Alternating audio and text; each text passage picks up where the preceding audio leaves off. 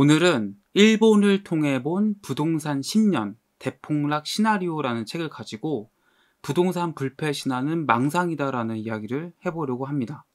우리가 이제 부동산 시장 보통 얘기할 때 일본과 많이 비교하죠. 일본도 한때 부동산 불패 신화가 굉장히 팽배했다고 합니다.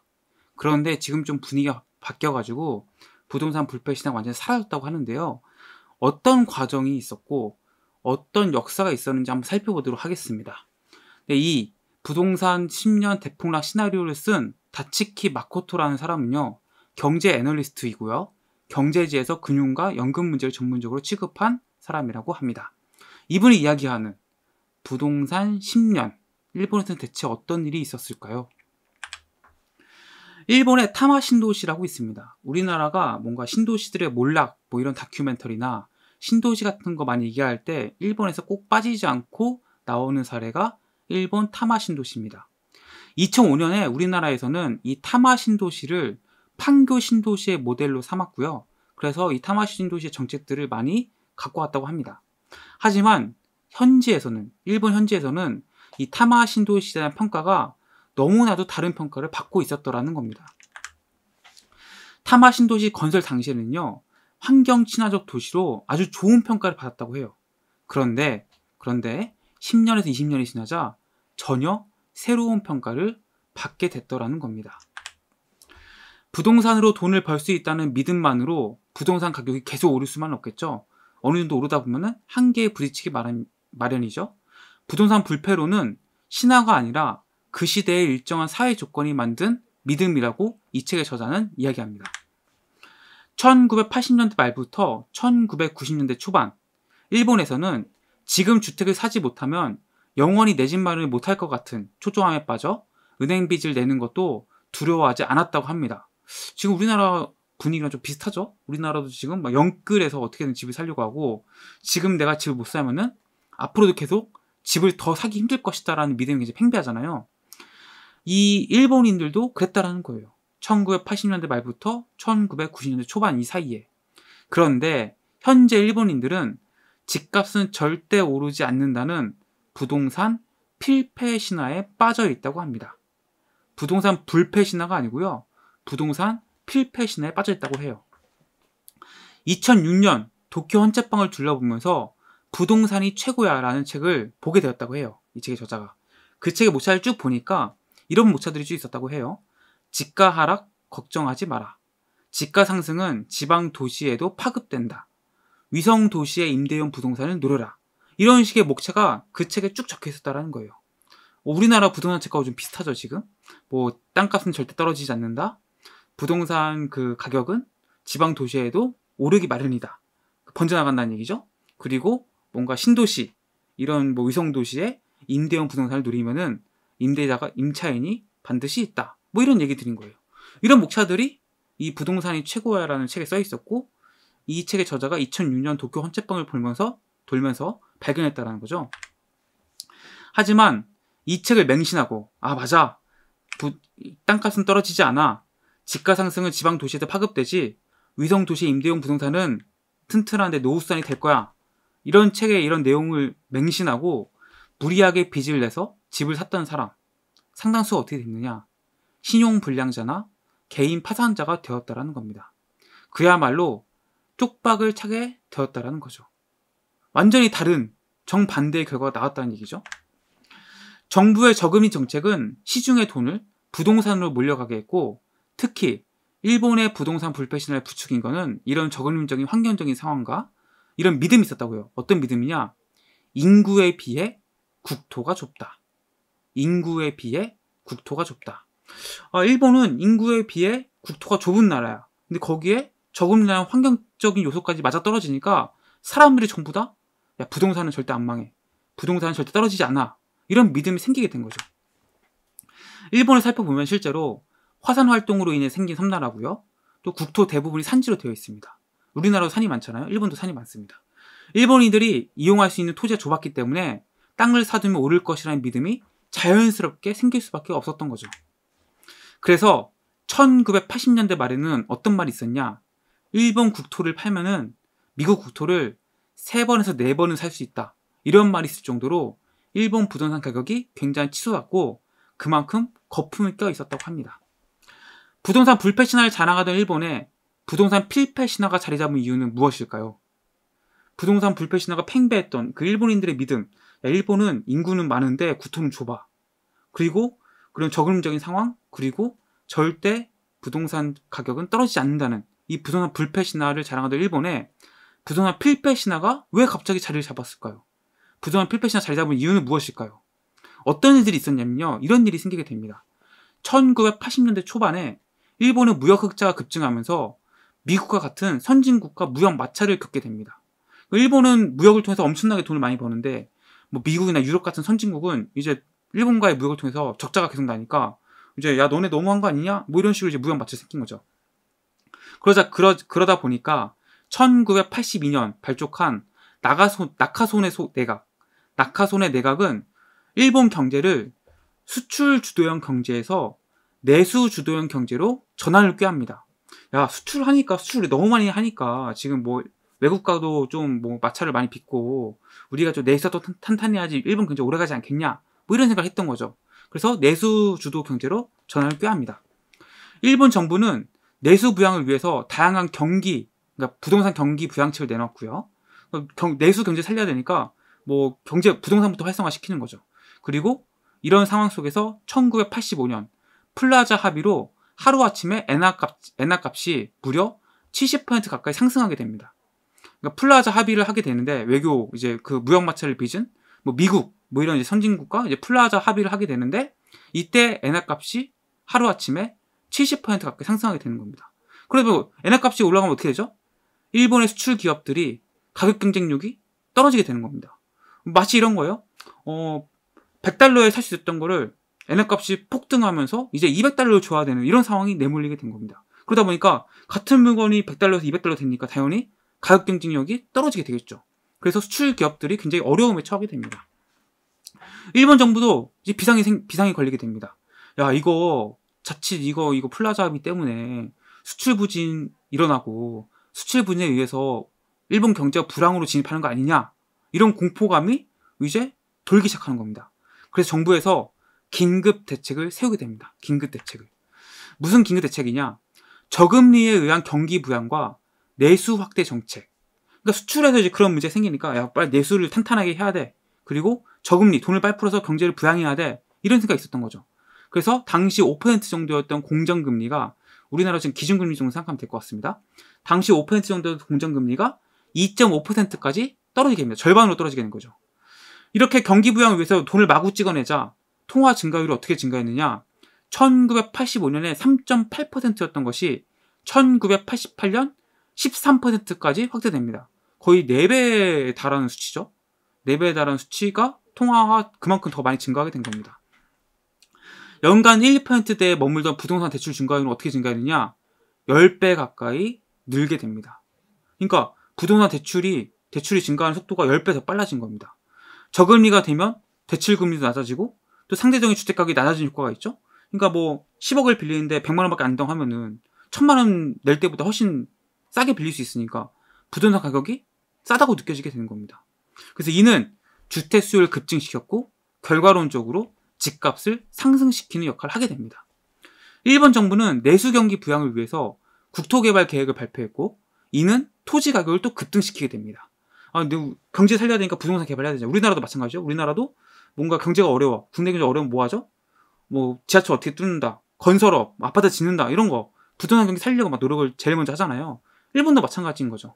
내수 경기 부양을 위해서 국토 개발 계획을 발표했고 이것이 토지 가격을 상승시키게 됩니다. 급등시키게 돼요. 급등시키게. 당시에 리조트법이라는 게 생기게 됐는데 이 리조트법이 대체 무엇이었냐? 국토의 균형 있는 발전을 위한 정책이었는데 그 일본 도심 같은 경우에 굉장히 빽빽하게 사니까 국민들에게 여유 있는 레저 생활을 제공하겠다. 그래서 이제 뭐 리조트 같은 걸 뭐 만들 수 있게 제도도 완화하고 뭐 건설 규제도 완화하고 뭐 대출 뭐, 뭐 이런 거 좀 해줬겠죠 뭐. 그래서 그런 것들을 부양시켜서 일본 경제를 좀 활성화시켜야겠다라는 일본 정부의 판단이 있었던 겁니다. 토지 가격이 급등하자 기업들은 토지를 담보로 거액을 융자받았고 또다시 땅을 사는 왜냐면 토지를 사놓으면 오르니까 기업들이 이제 땅 투기를 하는 거죠. 야 이거 작년에 1억이었는데 이번에 3억 됐네? 야 이거 땅만 사면 돈 버는데 뭐하러 힘들게 뭐 사업을 하고 뭐 이래. 그러니까 돈 있으면 다 토지를 사는 거죠. 이 토지 살 때도 대출도 받고. 그러니까 계속 이게 토지로 돈이 몰리고 뭐 이렇게 되, 이렇게 되다 보니까 계속 토지값은 계속 올라가게 됩니다. 그게 너무 오르다 보니까 이제는 국민들의 반발을 초래하게 됩니다. 당시 이제 일본 부동산은 토지 위주였는데 당연히 토지에 토지값이 오르면 당연히 주택가격도 오르기 마련이죠. 그래서 이제 주택가격이 급등하면서 일본 국민들이 이제 부동산에 대해서 굉장히 불만이 차오르기 시작하는 겁니다. 당시에는 뭐 주택이 부족한 것도 아니었대요. 근데 계속 올라갔던 거죠. 부동산 가격 급등에 일본 정부는 금융 정책에는 손을 쓰지 않고 투기 대책에만 골몰 했다고 하는데요. 이 투기 대책이 나온 게 대체 무엇이었냐? 1987년 10월에 이제 법인이 토지를 취득해서 2년 이내에 양도할 경우에 시세 차익의 96%를 환수하는 중과세를 시행했습니다. 그런데 이미 분위기가 이미 땅은 사면 오른다. 부동산은 오른다. 안 사면 바보다. 이런 이제 투기 광풍이 불다 보니까 이런 제도적 장치가 전혀 효과를 발휘하지 못한 거죠. 우리나라 중, 양도세 중과세도 이건 약간 비슷한 느낌이죠, 지금. 근데 일본은 무려 96%의 그 중과세를 했다고 합니다. 환수해, 환수하려고. 아무튼 엄청나 강력한 정책, 정책이었는데, 뒤늦게 일본 정부에서는 국민들의 그 부동산 불만이 점점 이제 폭발하기 시작하니까 뒤늦게 적은이 정책이 부동산 버블의 원인임을 인정하고 이제 금융에 손을 대기 시작합니다. 그래서 대출을 규제하는 총량 규제를 시행하고 신규 대출을 막는 거죠. 우리나라에서 하고 있는 거잖아요, 지금. 그죠? 우리나라 뭐 DSR, 뭐 LTV, 뭐 DTI, 뭐 이런 거, 이런 거, 이런 거죠, 결국엔. 그러니까 부두, 우리나라 부동산 정책들이 대부분 보면은 일본 부동산 정책들 참고해서 만든 것들이 굉장히 많습니다. 물론 인정국, 인접국가라서 그런 것도 있겠죠. 어찌됐든 간에 굉장히 유사해요. 근데 일본도 같은 이런 식으로 뭔가 신규 대출을 막고 부동산을 어떻게 잡아보려는 노력을 막 했던 거죠. 당시 이런 정책을 폈던 일본 총재는 이제 금융으로 막 부동산 내리 누르니까 국민들은 이제 열광하기 시작하죠. 야, 부동산 좀 잡나 보다. 그래서 국민들에게 영웅으로 추앙받았고 금리 인상과 부동산 총량 규제로 인해서 어떤 일이 발생했느냐? 1991년 들어서 도산하는 부동산 업체가 속출하고 장기 불황에 빠지게 되었다고 합니다. 규제가 너무 이제 심해지니까 뭐 대출을 받아서 땅을 살 수도 없고 그리고 부동산 경기가 식으니까 당연히 부동산 기업들은 많이 망하게 되겠죠. 그동안 거품에 의지했던 그렇게 생존했던 부동산 업체들이 다 망하게 된 겁니다. 그러면서 일본 경제가 장기 불황에 빠지게 되었다는 거예요. 그래서 일본이 부동산 진짜 우리나라처럼 부동산 불패 신화가 있었는데 이제 필패 신화로 바뀌게 된 게 이런 일련의 역사적인 과정이 있었다. 오늘 이 얘기를 좀 드리고 싶었고, 그러니까 우리가 지금 믿고 있는 부동산에 대한 믿음들이 영원히 가지 않는다는 걸 저는 말씀드리고 싶었어요. 이게 언젠가 끝납니다. 왜? 사회 구조가 바뀌고요. 환경이 변하고요. 어떻게든 바뀌거든요. 이게 부동산 영원히 올라간다? 이런 건 절대 없습니다. 경제에서. 그래서 일본은 아 일본도 우리랑 되게 비슷한 상황이었는데 이 불패 신화가 이렇게 사졌구나. 이것을 한번 인식했으면 좋겠고 물론 그렇다고 해서 뭐 우리나라 일본처럼 똑같이 간다 이런 건 아닙니다. 하지만 인적 국가이고 우리나라 부동산 정책들이 일본과 많이 유사하다는 측면을 봤을 때 일본의 사회들을 아는 것은 분명히 우리가 부동산 투자를 하거나 부동산에, 대해서 잘 아는데 분명 도움이 될 것이다. 그런 의미로 제가 이제 오늘 이야기 갖고 왔습니다. 그래서 오늘 부동산 불패 신화는 망상이다. 라는 주제로 이 일본을, 일본 역사를 통해서 본 부동산에 대한 일본 국민들의 인식이 어떻게 변했는지 그 사이사이에 어떤 일들이 있었는지 말씀드렸습니다. 그래서 도움이 되셨다면 제 채널 구독과 좋아요 눌러주시면 감사하겠습니다. 고맙습니다. 오늘은 일본을 통해 본 부동산 10년 대폭락 시나리오라는 책을 가지고 부동산 버블 그 후 일본 부동산 투자는 어떻게 변화했나라는 주제로 이야기를 해보도록 하겠습니다. 어, 지난번 영상에서 제가 이제 일본 그 국민들이 왜 부동산 불패 신화에서 어, 부동산 필패 신화로 어, 인식이 바뀌었는지에 설명을 드렸다면은 오늘은 그 부동산 법을 뭐 잃어버린 20년 뭐 이런 얘기 하죠. 그 시기 이후에 일본 국민들이 부동산 투자를 어떻게 하고 있고 어떻게 생각이 변화했는지 그 얘기를 해보도록 하겠습니다. 이 책의 저자는 다치키 마코토라는 분이고요. 경제 애널리스트, 경제지에서 금융과 연금 문제 전문직을 취급한 어, 경제 전문가입니다. 어, 본격적으로 한번 얘기해 볼게요. 일본 정부가 경기 부양책 또는 도시 재개발 차원에서 도심 용적률을 높이는 정책을 취하면서 주상복합 개발 붐이 촉발됩니다. 그러니까 이제 뭐 외곽지에서 부동 개발 막 일어나고 하다 보니까 도심지가 이제 조금 이제 낙후되는 거죠. 그래서 이 도심을 다시 뭔가 활성화 시켜야겠다. 혹은 뭐 일본 경제를 다시 활성화 시켜야겠다 이런 차원에서 도심의 용적률을 높이는 정책들을 취합니다. 용적률 높여주, 높여주니까 당연히 빌딩이 높게 올라가게 되고요. 그러다 보니까 주상복합 빌딩 뭐 이런 것들 많이 짓게 된 거죠.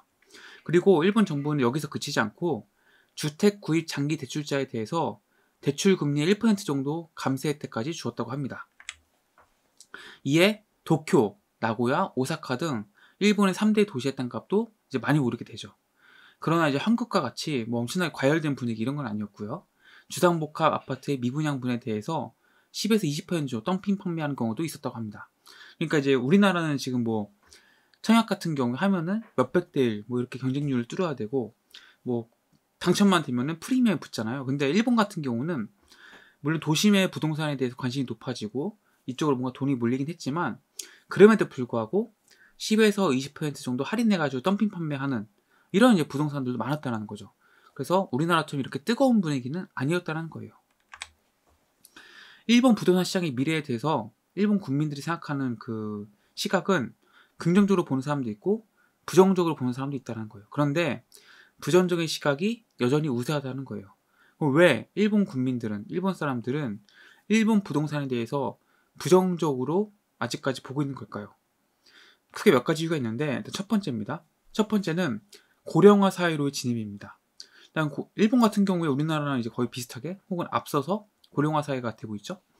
그래서 인 구 감소가 본격화되고 있고요. 100년 후 현재 인구의 절반 정도까지 감소할 수 있다라는 그런 이제 공포감, 우려도 나오고 있습니다. 이런 비관적인 전망이 팽배하다 보니까 인구가 감소하면 당연히 부동산 수요가 줄어들 수밖에 없죠.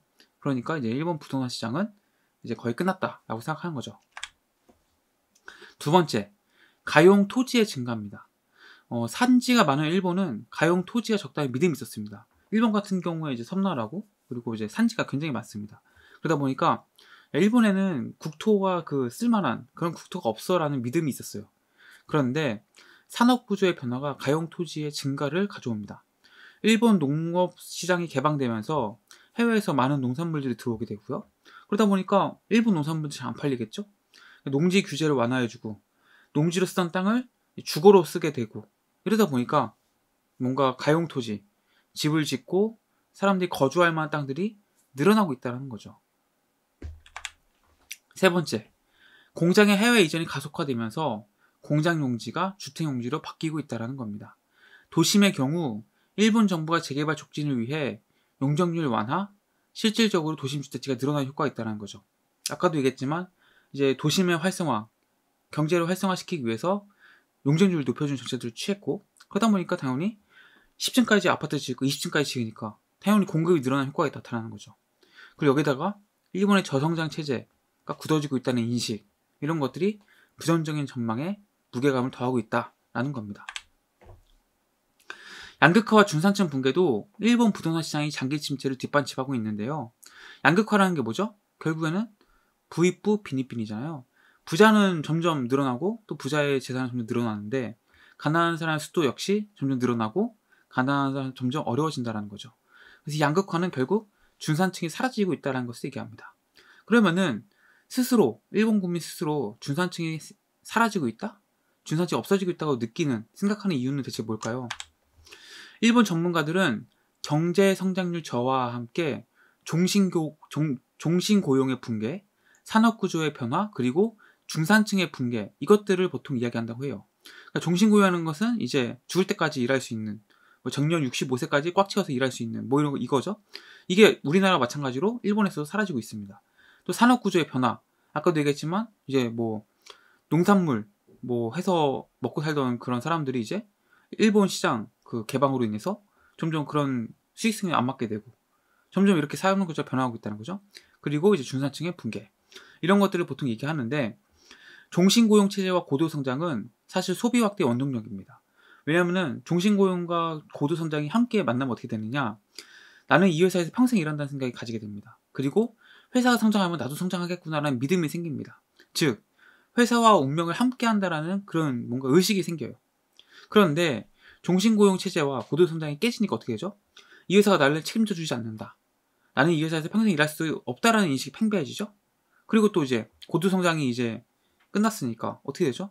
아, 우리 회사가 성장하지 않을 수 있다. 일본 경제는 이제 더 이상 성장할 수 없어. 이런 생각이 점점 커지게 되는 겁니다.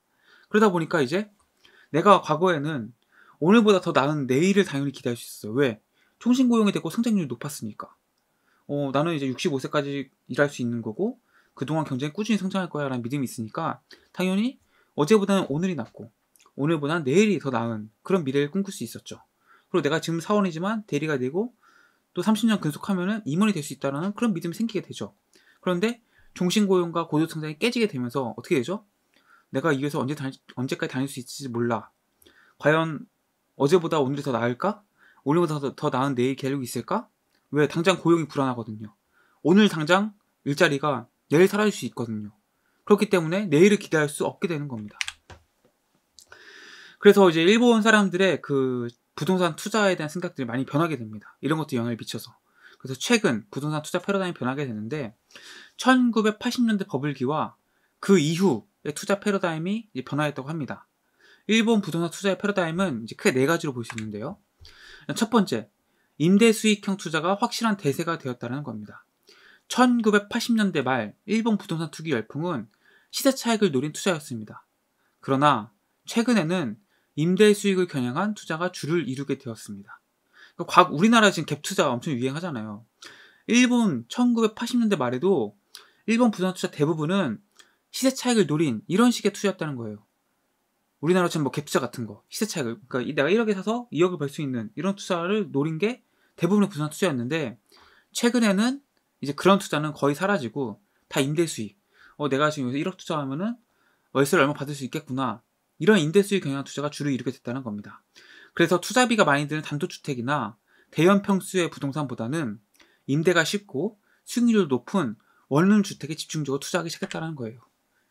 두 번째, 부동산의 투자 주체가 기업, 개인, 개, 개인에서, 개인에서 부동산 펀드로 급격히 재편되었다는 겁니다. 그러니까 과거에 1980년대 이전에는 개인들이 부동산 투자에 적극적으로 나섰다는 거죠. 근데 지금은 개인들이 이제 그런 비관적인 전망, 일본 부동산 투자에 대한 인식이 많이 바뀌어가지고 개인들이 투자하기보다는 기업이 주체가 돼서 또 부동산 펀드를 통해서 부동산 투자하는 경우가 늘어났다는 겁니다.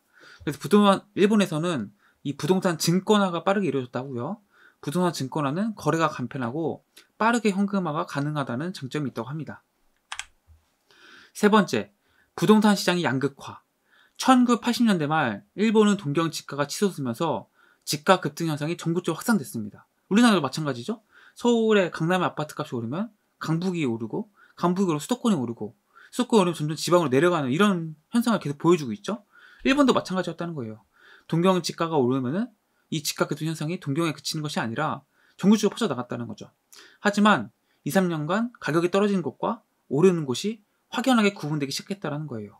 또 여기에 도심 회귀 현상이 본격적으로 이루어지고 있어서 말 그대로 뭐 지난번 영상에서 많은 분들이 이제 댓글을 달아주셨는데 뭐 일본의 도시 도심 지역은 뭐 올랐다 맞습니다 올랐어요 도심 회귀 현상 그리고 양극화 이런 이런 서 나타나면서 일본이라고 해서 모든 부동산이 다 비관적이고 떨어진 건 아닙니다.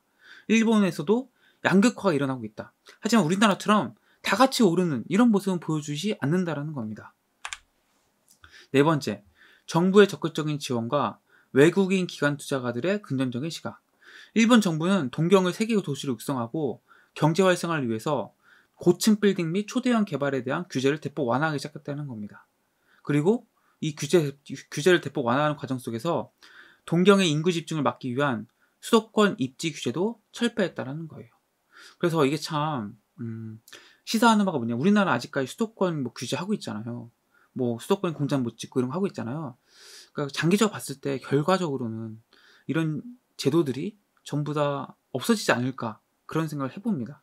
일본 같은 경우에도 뭐 동경을 이제 뭐 수도권 뭐 이렇게 해가지고 수도권 입지 규제를 했다라는 거죠. 근데 이제 세계적으로 경쟁을 해야 되잖아요. 지금 이제 이제 우리나라에서 뭔가 하는 게 아니고 서울과 뉴욕이 경쟁하고 서울과 동경이 경쟁하는 시대가 왔단 말이죠. 그런데 그런 이제 규제 같은 걸 잔뜩 넣고 하면 당연히 도시 경쟁이 떨어질 수밖에 없고 정부 입장에서는 경제 활성화, 뭔가 내수 활성화, 뭐 이런 이런 여러 가지 명목들, 여러 가지 요인들 겹치면서 결과적으로 폐지할 수밖에 없지 않나. 일본 같은 경우 이미 했고. 그래서 이런 이제 흐름이 나타날 것이라는 거죠. 일본에서는 이런 흐름이 나타났다고 합니다. 그래서 일본의 부동산 투자는 뭐 이렇게 양극화를 더 심화시키는 어떻게 보면은 수도권의 규제를 철폐하고 도, 도심으로 더 경쟁력을 몰아주는 이런 쪽으로 발전되었다는 겁니다. 그래서 일본 부동산 시장의 미래에 대해서는 사실 여전히 비관론과 낙관론이 엇갈린다고 합니다. 하지만 1980년대 말 묻지마 투자, 부동산 타면 무조건 오른다. 이런 부동산 불패 신화에 빠져서 유례 없는 부동산 버블을 키웠던 일본 투자가들은 10년간, 아니 20년간, 거의 30년간이죠. 어, 디플레이를 통해 교훈을 얻은 것이 틀림없어 보인다라고 이 책의 저자는 얘기하고 있어요. 그래서 어떤 나라보다도 임대 수익률을 중시하면서 투자 가능이 자리를 잡아가고 있고 부동산 시장이 조금 과열된 기미를 보이자 여기저기서 법을 우려에 대한 경고를 쏟아내는 것이 일본 그 국민들이 디플레이를 겪으면서 일어난 변화다. 그래서 일본 투자가들은 지난 과거를 통해서 뭔가 깨달은 것처럼 보인다라는 것이 저자의 이야기입니다. 그래서 우리나라도 결국에는 뭐 큰 흐름 속에서는 실제로 일본의 부동산 정책 우리나라가 많이 참고하고 있고 많이 가져오는 것도 사실 많거든요. 뭐 일기 신도시 같은 경우에 일본의 정책을 거의 그대로 갖고 왔다고 합니다. 그래서 그런 것들을 봤을 때 일본의 부동산 시장은 무시할 수만은 없는 거고 당연히 고려를 해봐야 되는 거고 그런 맥락을 봤을 때 우리나라도 향후 비슷하게 갈 수 있지 않을까 일본의 부동산 시장과 그런 생각을 해봅니다. 그래서 일본의 부동산 투자 패러다임이 이렇게 변했다는 걸 말씀드리고 싶었고 이런 패러다임을 좀 참고하셔서 여러분의 부동산 투자하실 때 참고하시면 좋을 것 같습니다. 오늘 영상 도움이 되셨다면 구독과 좋아요 해주시면 감사하겠습니다. 고맙습니다. 오늘은 일본을 통해 본 부동산 10년 대폭락 시나리오라는 책을 통해서 뭐 조금 뭐 논란이 될 수도 있고 조금 재미있게 그냥 한번 볼 수 있는 그런 이야기를 가져왔습니다. 오늘 주제는 뭐냐면요. 내 집 마련의 신화는 전문대 졸업의 여성들이 완성시켰다라는 겁니다. 내 집 마련의 신화는 전문대 졸업의 여성들이 완성시켰다? 어, 굉장히 그 논란이 될 수 있는 내용인데요. 이건 이제 일본 분들 얘기고요. 뭐 일본 저자가 쓴 겁니다. 제가 얘기하는 게 아니고 저는 그냥 소개를 해드리는 거고 한국 여성분들이 그렇다는 게 아닙니다. 그래서 이거 분명히 말씀드리고 이 책에 나온 이 내 집 마련의 신화는 전문대의 졸업의 여성들이 완성시켰다라는 내용을 제가 소개해드리도록 하겠습니다. 이 책의 저자는 다치키 마코토라는 분이고요. 경제 애널리스트면서 경제지에서 금융과 연금 문제를 전문적으로 취급하는 경제 전문가입니다.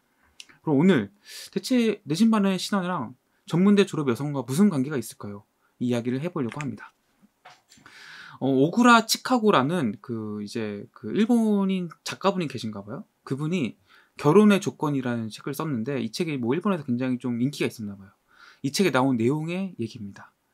내 집 마련의 신화는 전문대 졸업의 여성들이 완성시켰다라는 건데요. 좀 더 구체적으로 들어가면 이런 내용입니다. 그 책의 내용을 그대로 갖고 온 거예요. 전문대 졸 여성들의 전업주부 소망은 강렬하다. 전문대 영문과나 국문과에 진학한 여성들은 입학 시 뚜렷한 목적이나 계획도 지니지 않고 있다. 자신이 재학하는 동안 좋은 직장을 찾기보다는 동일한 계층의 친구들과 즐기는 여가 생활에 관심을 둔다. 친구들이 퇴직하면 똑같이 퇴직하며 친구들과 동일한 시기에 결혼을 꿈꾸는데 상대는 당연히 자신을 부양해야 한다고 생각한다. 또한 친구들에게 부끄럽지 않은 상대와 결혼하여 자상한 남편과 귀여운 아기에게 둘러싸인 그림 같은 가정을 꿈꾼다. 힘들게 가사와 직장 일을 병행하려 하지 않기 때문에 결혼과 동시에 회사를 그만두는 경우가 많다. 결혼 후 그녀들 중 안정된 급여를 받는 직장에 다시 취직한 사람은 거의 없다. 그녀들에게 결혼은 의존 그 자체다. 이 내용이 이제 그 이 결혼의 조건이라는 책에 써 있다는 거예요. 그래서 이 내용을 조금 제가 풀어보면 이런 얘기죠. 일단 그 일본인 여성분들은 이제 대졸자가 있고 전문대 졸업자가 있고 뭐 고졸자 이렇게 있겠죠. 이 중에서 이제 전문대 졸업자 여성들의 얘기예요. 전문대를 졸업한 특히 뭐 전문대 영문과라든지 국문과를 진학한 여성들은 입학할 때나 혹은 뭐 졸업할 때 뭐 뚜렷한 내가 정말 이 직업을 먹고 살겠다 이런 목표나 계획을 갖고 있지 않은 경우가 많다라는 거예요. 그냥 어떻게 보면 대학을 가야 되니까 간 거고 성적 맞춰서 간 거죠. 그리고 자신이 대학을 다니는 동안에 뭔가 좋은 직장을 찾기보다는 동일한 계층의 친구들과 즐기는 여가 생활에 관심을 준다라는 거죠. 그러니까 대학 다니는 동안 뭐 맛집 돌아다니고 뭐 놀러 다니고 뭐 다양한 경험을 쌓는 거죠 어떻게 보면은 그래서 뭔가 좋은 직장 이런 걸 찾, 기보다는 내 삶을 좀 즐기는 근데 이게 전문대 졸업자들의 여성들의 얘기고 대졸자는 또 다르다는 거죠. 대졸자들은 좋은 직장을 내가 갖기, 가, 가기 위해서 굉장히 많은 노력과 커리어와 스펙을 쌓으려 노력을 한다는 거죠. 이게 이제 대졸자와 전문대 졸업자 차이인 거죠. 친구들이 퇴직하면은 똑같이 퇴직하며 친구들과 동일한 시기에 결혼을 꿈꾼다는 거죠. 전문대 졸업한 친구들이 있을 거 아닙니까? 그 친구들과 어떻게 보면 생애 주기 패턴이 이제 비슷해지는 거죠. 그러면서 그 친구들이 결혼할 시기에 나도 이제 결혼을 해야지라고 생각하고 그 친구들이 퇴직하는 시기에 나도 퇴직을 해야지라고 이렇게 자연스럽게 생각을 한다는 거예요. 그러다 보니까 상대, 배우자죠, 배우자.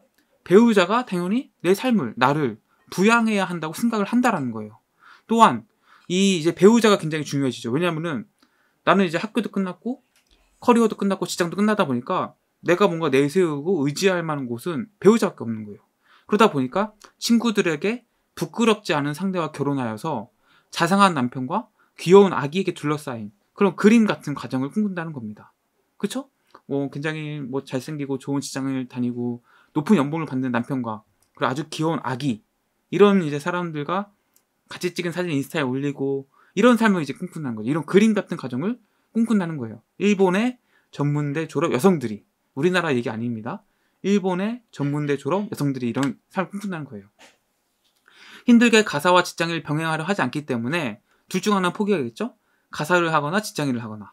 그래서 대부분은 결혼과 동시에 회사를 그만두는 경우가 많다는 겁니다.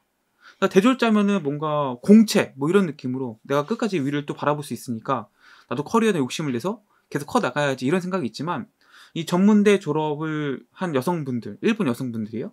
일본 여성분들은 이제 어 내가 뭐 마땅히 뭐 회사에 큰 뜻도 없고 그리고 뭐 커리어상 한계도 있고 이러다 보니까 대부분 이제 가정을 선택한다는 거죠. 회사를 이제 그만두게 되고요.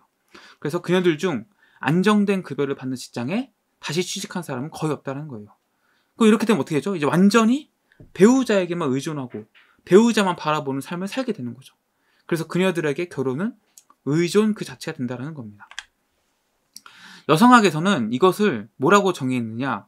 전문대생 personality, 전문대생 personality라고 정의를 했다고 해요. 그래서 고졸자의 견실함, 그러니까 고졸자니까 내가 그 대학을 못 갔다는 것 때문에 굉장히 성실하고 뭔가 열심히 해야지 이런 견실함이나 대졸자의 커리어 지향, 내가 그 대학을 졸업했으니까 나는 이 기업에서 이런 전문가로 선택해 나갈 거야. 이런 커리어 지향과 달리 이 전문대생, 여성 전문대생들은 오직 가정에서의 파워 확대를 목표로 한다는 겁니다. 이 여성 전문대생 졸업생들은 뭔가 커리어적이거나 뭔가 내가 열심히 뭘 해야겠다 이 생각보다는 이 가정 내에서 아기와 남편과 나의 그 관계 속에서 내 영향력을 키우는 것만 목표로 한다는 겁니다. 그래서 전업주부인 그녀들은 항상 집에 있기 때문에 어떻게 되죠? 그 집이 굉장히 중요합니다. 왜냐면은 남편은 이제 회사 가니까 대부분의 시간을 이제 회사에서 보내게 되잖아요. 근데 이 전업주부인 그녀들은 전, 전업주부인 전문대를 졸업한 그녀들은 이제 하루 종일 집에 있다 보니까 집이란 게 굉장히 소중합니다. 그러니까 내 집에 대한 애착이 굉장히 심해지는 거죠. 그래서 도시 외곽의 부실주택이라도 개의치 않고 내 집이 필요하다. 내 집을 가져야 한다는 생각이 굉장히 강해진다는 겁니다. 그래서 이 내 집 마련의 신화, 일본에서 이내집 마련의 신화는 일본의 전문대졸 여성들이 정점을 찍었다고 해도 과언이 아니다라고 이 책의 저자가 얘기하고 있어요. 제가 얘기한 게 아닙니다. 이 책의 저자가 얘기하고 있는 거예요. 일, 본인 저자가 얘기하는 거예요. 일본인 저자가 일본인 여성들, 전문대 졸업 여성들을 이제 보고서 얘기한 겁니다. 네, 일본 셀러리맨들의 그 내집만의 현상은 이런 전문대학을 졸업한 여성들이 만들어낸 전문대 문화가 절대적인 힘을 발휘했다는 거죠. 아, 아내가 나 결혼했는데 아 우리 집 마련해야 되지 않아? 나 내 집 갖고 싶어. 우리도 좋은 집에 살자. 이렇게 자꾸 얘기하고 계속 보채면은 당연히 남편들도 처음에는 내 집 마련에 대한 생각 전혀 없다가 아 뭐 내 아내가 이렇게 원하고 또뭐 나도 계속 살아야 되니까 적당한 집은 하나 있어야지 이렇게 생각이 바뀌면서 이 내 집 마련에 대한 그 욕망이 점점 커진다라는 거예요. 그래서 이것이 이제 일본의 내 집 마련 열풍, 내 집 마련 신화 이것에 이제 어떻게 보면 기름을 껴졌다라는 거죠. 그래서 일반적으로 주택 자금 대출, 뭐 집을 사면 대출 받아야죠. 근데 이게 보세요. 전문대를 졸업했고 이제는 전업주부로 살아가는 여성들에게 누가 대출을 해줍니까? 대출 안 해주죠. 그러니까 대부분 이 대출은 다 남성들이 이제 부담하죠. 여성 입장에서는 손해 볼 게 하나도 없어요. 그냥 뭐 어떻게 보면은 나는 내 내 돈 한 푼 안 들이고 남편 변으로 대출 받아서 내 집을 마련하는 겁니다. 그리고 만약에 내 집을 마련한 후에 이혼하더라도 양육비 대신 집을 얻을 수 있잖아요. 나는 남편과 아기가 있는데 이혼을 하면은 아기는 내가 키워야 되니까 양육비를 받아야 되는데 이 양육비 대신에 집을 얻을 수 있다라는 거죠. 그렇기 때문에 내가 설령 이 결혼을 해서 이혼을 하더라도 최소한 집은 남는다는 계산을 한다라는 거예요. 그래서 여성 입장에서 보면 전문대 졸업을 한 일본인 여성 입장에서 보면은 이것은 하나도 손해볼 거 없는 장사다. 하나도 손해볼 거 없기 때문에 남편에게 아, 우리 집 사야 되지 않아? 우리 집 사, 우리, 우리 집 사자. 이렇게 이제 보채고, 이 졸라서 이제 산다라는 거죠. 이렇게 손해볼 게 하나도 없기 때문에. 그래서 많은 남자들이 행복한 가정을 꾸리기 위해서 내 집을 마련하죠. 당연히 나도 아내와 내 아기와 소중한 보금자리 마련하고 행복하게 가정을 꾸리고 싶으니까 당연히 내 집을 마련하죠. 하지만 실제 그 집의 주인은 명의는 뭐 남편 명일 수 있지만 실제 그곳의 주인은 아내들이다. 그리고 일본의 내집 마련 신화는 이런 문화들이 영향을 미쳐서 더 강력해졌다라는 겁니다. 그래서 오늘 그 좀내집 마련의 신화는 전문대 졸업의 여성들이 완성시켰다라는 주제를 얘기해봤는데 조금 논란이 될 수 있다고 생각이 듭니다. 하지만 어, 이거는 제가 이제 책에 있는 내용 그대로 설명을 드린 거예요. 제가 뭐 만들어서 한 것도 아니고 이 책에 써 있는 내용들을 이렇게 요약해서 제가 설명드린 겁니다. 그래서 이 책에 일본인 저자가 일본인 전문대 졸 여성들을 보고서 이렇게 분석을 한 거고 어, 이런 현상이 우리나라에서 좀 비슷하게 나타날 수 있지 않나 이런 생각 을 한번 해보자는 거죠. 그래서 어, 이 내집만에 대한 신화를 강화시키는 요인들이 뭐가 있는지 그리고 우리나라에서 이런 비슷한 문화가 없는지 한번 생각해 본다면은 어, 정말 내집 마련의 신화, 부동산 불패 신화 이런 게 어, 깨질 수도 있겠다. 일본도 우리랑 좀 분위기나 문화가 좀 비슷했던 적이 있었구나 이런 생각 해볼 수 있잖아요. 그런 거 생각해 보면은 결과론적으로 우리도 어, 언제까지 부터 계속 오른다? 이런 뭔가 너무 확고한 뭔가 신념, 믿음 이런 거 갖기보다는 다양한 가능성을 열어두고 다양한 견해를 열어두고 아 이럴 수도 있겠구나. 일본에서 이런 사례가 있었구나. 이런 걸 좀 알아두면은 여러분들의 투자에 좀 도움이 되지 않을까 해서 소개해 드렸습니다. 그래서 오늘 영상에 도움이 되셨다면은 구독과 좋아요 주시면 감사하겠습니다. 고맙습니다. 오늘은 일본을 통해 본 부동산 10년 대폭락 시나리오라는 책을 가지고 일본 직장인을 위협하는 5대 부실 채권에 대해서 이야기를 해보도록 하겠습니다. 어, 일본 그 직장인들이 이 다섯 가지 리스크 때문에 굉장히 노후에 힘든 삶을 살게 되었다라고 얘기하는데요. 어, 일본하고 우리나라는 유사한 점이 많죠. 그래서 일본 직장인만의 문제가 아니라 우리나라 직장인들도 잠재적으로 이런 리스크가 있을 수 있겠다. 뭐 이런 생각을 해보시면 했음 하는 마음에서 한번 이 책의 내용을 소개해 드립니다. 어, 이 책의 저자는요, 다치키 마코토라는 분이고요. 경제 애널리스트이면서 경제지에서 금융과 연금 문제를 전문적으로 취급하는 전문가입니다. 그래서 처음에 이 책을 이제 뭔가 부동산 버블 뭐 이런 내용들로 처음에 소개해 드렸는데 뒤에 가면 뒤에 갈수록 일본 경제의 취약점, 일본 경제의 문제점, 그리고 일본인들이 처한 뭔가 경제적인 문제 이런 것들을 계속 다루고 있거든요. 그래서 그런 맥락에서 어, 일본 직장인들을 위협하는 다섯 가지 리스크는 대체 무엇인지 한번 이야기해 보도록 하겠습니다.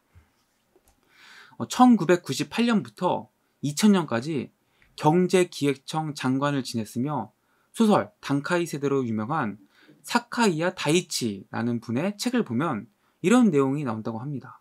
어떤 내용이냐?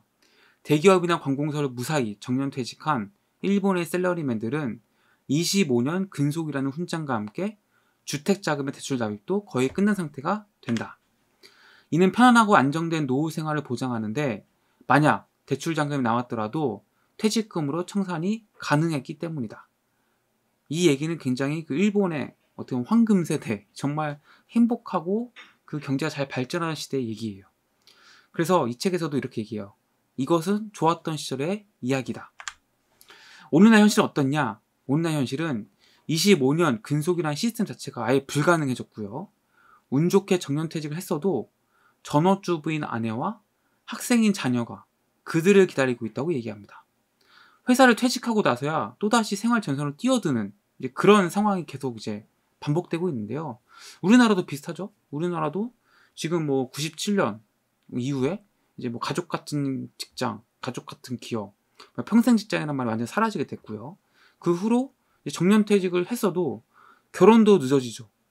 뭐 취업도 늦어지죠. 이러다 보니까 뭐 충분한 자산을 모으지 못할 뿐더러 또 아직 학생일 때 다 이제 그 퇴직을 하게 되는 거죠. 그래서 실제로 이런 사례가 있죠.